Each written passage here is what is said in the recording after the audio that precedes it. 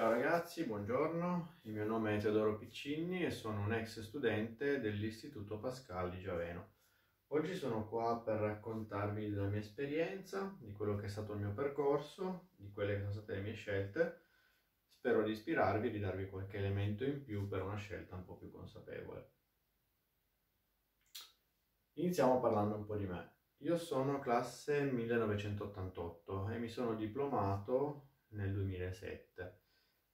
Al Pascal mi sono iscritto al liceo scientifico e nonostante siano passati diversi anni noto con piacere che i professori che mi hanno seguito in questo percorso insegnano ancora al Pascal, quindi su di loro posso far da garante e dire che hanno fatto davvero un ottimo lavoro. Eh, sulle nuove leve ho avuto il piacere anche di conoscere qualche nuovo professore e posso dire che hanno la mia più totale stima e mi sento di consigliare questo istituto anche per le nuove leve. Detto questo, eh, vi racconto un po' come mi sentivo quando ho dovuto scegliere l'istituto. Di sicuro certe cose le vivrete anche voi, quindi ehm, io ero abbastanza consapevole del fatto che avrei scelto una carriera scientifica, quindi in ogni caso il liceo scientifico era già la mia scelta a priori. Non ero convinto dell'istituto, perché? Perché avevo amici che hanno scelto sì altri percorsi, ma hanno scelto anche altri istituti.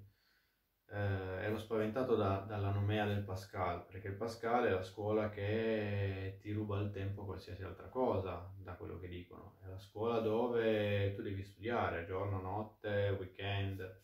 Questo non è vero, perché è una scuola che ti dà molto, è una scuola che ti chiede molto, però non ho mai dovuto rinunciare a quello che erano le mie passioni, al ciclismo, al mountain bike, agli sport invernali, alle escursioni in montagna, tutto quello che era al di fuori dello studio, eh, riuscivo a conciliarlo. Quindi posso dire che questa nomea qua, da un certo punto di vista, è sbagliata.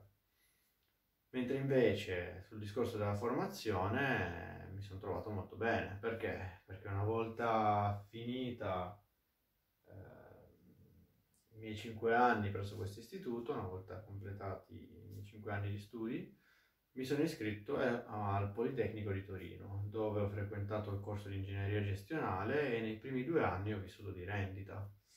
Non, ho, non sono diventato matto a prepararmi per gli esami come analisi, come geometria, come chimica, come fisica perché avevo già tutte le basi necessarie per poterli affrontare. Mi sono seguito le mie lezioni, ho studiato quello che c'era da studiare senza dover diventare matto, senza perderci le notti e sono riuscito a superare tutti gli esami del caso. Il Pascal mi ha insegnato molto a dedicarmi al mio obiettivo, a imparare a capire le cose e imparare a metterle eh, in pratica nel miglior dei modi. Questo mi è servito per l'università, mi è servito per la mia carriera lavorativa.